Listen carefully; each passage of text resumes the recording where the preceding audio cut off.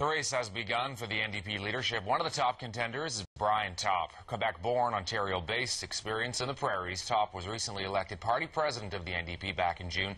He's never been elected an MP, at least not yet, but he does seem to be the choice of the NDP establishment to take over. Brian Topp is here in studio with us. So, so why you? Why do you think you have what it takes to take over this party?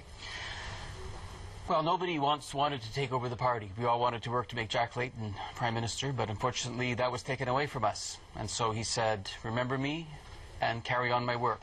And so a number of us are thinking about doing that. So I'm stepping forward because there's some things I want to talk about. I want to talk about the theme of equality, about our party focusing in on the issue of equality, and I think I bring some things to the table. I think I worked in a, in a very successful NDP government through much of the 90s, and I think when you're aiming to be the government of Canada, it's not a bad thing to know a bit something about being in government. And uh, I'm not going to have to learn how to campaign nationally on the job. I worked very closely with Jack on the last four national campaigns, and that's a big part of what the next leader has to do. We need to win the election, we need to run a good government, and we need to know why we're there. Uh, how do you respond to the argument that since you've never been elected as an MP, it makes it tricky for you to go from being an unelected official of the party to the leader of the official opposition in one fell swoop, and that that's a little bit too much of a stretch? Well, as I said, uh, every once in a while somebody named Brian from Quebec gives it a try. And, um, you know, three of the, of the six leaders of the NDP were not members of Parliament when they were elected as leader.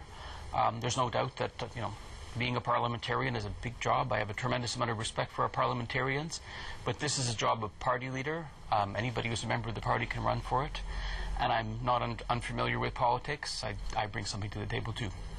In terms of your experience in the House of Commons, or let's say retail politics, without having that, does that hurt you in any way? The ability to sort of connect with people and just understanding the day-to-day -day mechanics of, of what it is to be a politician? Well, I think I have a pretty good understanding of the day-to-day mechanics of being a politician. I've been doing this for almost 30 years. And here's another part of the job. We need to win a national campaign. And here's another part of the job. After we win, we have to run a good government. And knowing how to, how to, how to make a good government work is not a small matter. And here's another point that we need to do. We need to communicate a vision about what we're doing as a party. And I think that I can speak to that.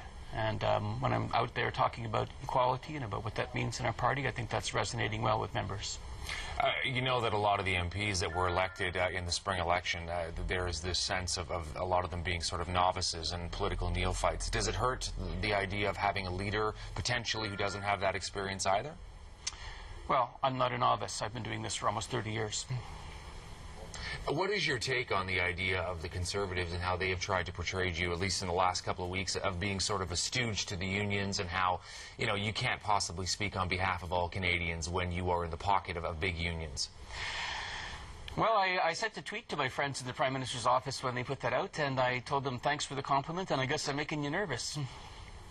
Is there any truth to that? I don't think so. I mean, I'm, I'm proud of the fact that I work for a trade union. I'm proud of the fact that I'm on the board of a venture capital fund. Um, I'm proud of the fact that I'm the chair of a credit union board. I've got, I've got a, you know, a fair bit of experience that I think people can connect with.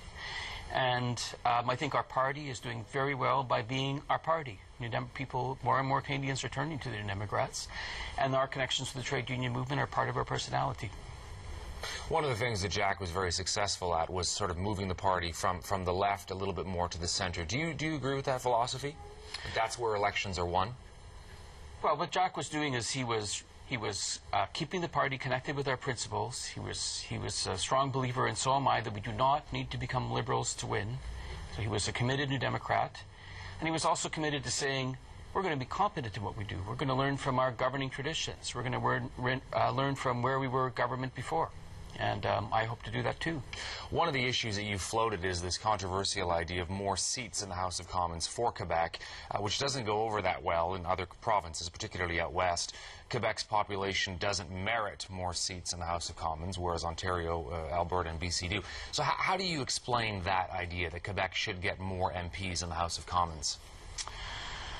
Well, this is a tricky issue, and it's going to need a good Canadian compromise. So we begin with the fact that we've got constituencies out there, notably in Western Canada and Ontario, that have got over 100,000 citizens in them, and that's not a good idea. And that creates a democratic issue, and it also creates a challenge for the MP to service the riding.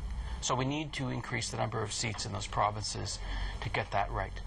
So then the question becomes what do you do about the historic role of other provinces? Quebec North America's only French speaking jurisdiction. We all know it has a unique role in the Federation. And there is a debate about preserving Quebec's place in the House of Commons. And I think that we need to strike a balance here that, that uh, is a reasonable Canadian compromise. So, in addition to adding those seats where they need to go in the rest of the country, I favor a, an adjustment to the number of seats in Quebec to go some distance toward preserving its traditional role in the House of Commons. How does your party ever recapture the magic of Jack Layton? By continuing his work. I mean, nobody's going to replace Jack Layton. Jack Layton couldn't replace Jack Layton. Jack Layton in the first year of his leadership was not the Jack Layton in the ninth year of his leadership. But what he has built, we can build on. And what he, the road that he set us on, we can continue down. And that's the discussion that we're having in our party today. Thank you very much for your time today. Thank you so much. Appreciate it. Saturday,